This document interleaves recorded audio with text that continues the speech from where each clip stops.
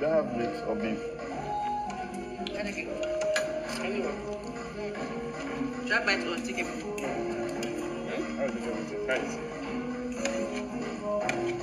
Daddy, do you want meat? Mm-hmm.